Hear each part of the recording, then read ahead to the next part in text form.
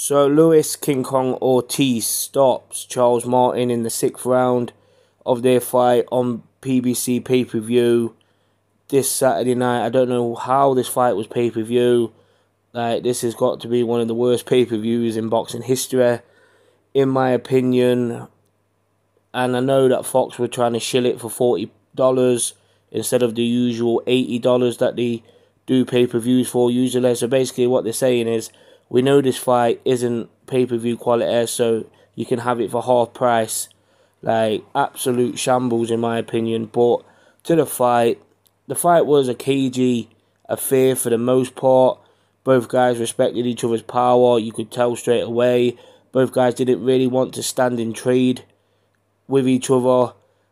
But when they did throw shots, they were thrown with bad intentions, especially Charles Martin. Like he was missing a lot of his big shots, like big winging punches. Luis Ortiz, even though at 42 years old, he is still quite slippery. But in saying that, he was dropped by Charles Martin with a shot to the side of the head. At the end of the first round, it was a legitimate knockdown. You know, it was one of them shots to the temple that just takes your legs away. And at 42 years old, in there tonight, you could tell the legs of Luis Ortiz were 42 years old and he got caught in the fourth round as well by a stiff, solid jab from Charles Martin, and he went down from that. So, you know, at 42 years old, getting dropped by jabs, it's not really a good sign. And, you know, Charles Martin, he looked okay in there, you know, he was picking his spots. He wasn't doing anything too reckless. He was there trying to, you know, draw Luis Ortiz onto a big punch, and he did manage to do it a couple of times, and Luis Ortiz was doing the same. Like he was trying to counter Charles Martin and he caught him with a fantastic shot in the sixth round. You know, the fight was very, very close.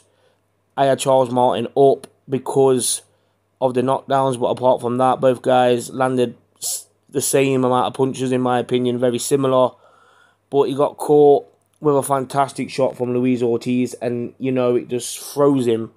Charles Martin, he didn't know what day it was after he got hit by that punch, and Luis Ortiz is a very good finisher and he jumped all over him.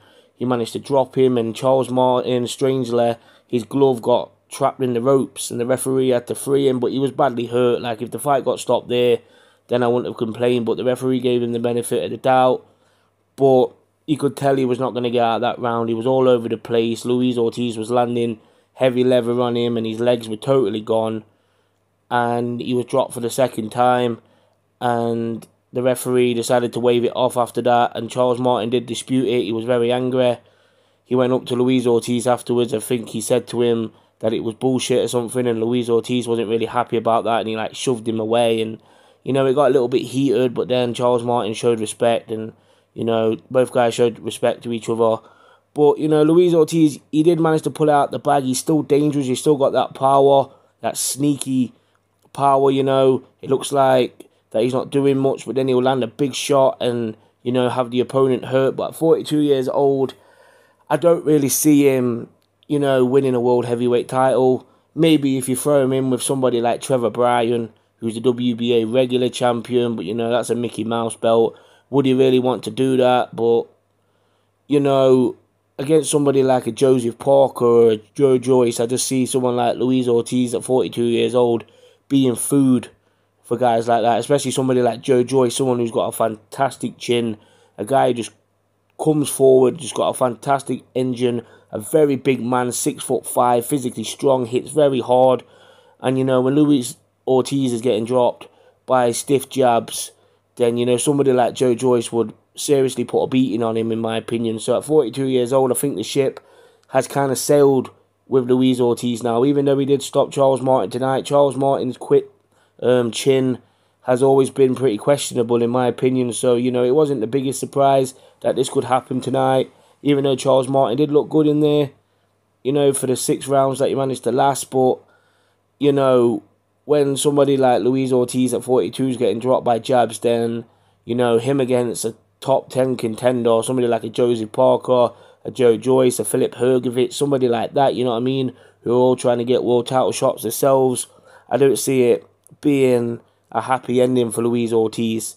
So you know he's got he's gonna probably roll on. So at 42 years old, how far can he go? You know, I think he needs to have a big fight next. I think time is not on his side. So he needs to have the biggest fights possible, get the most money as possible, and you know just ride out into the sunset. So yeah, Luis Ortiz picks up the win over Charles Martin.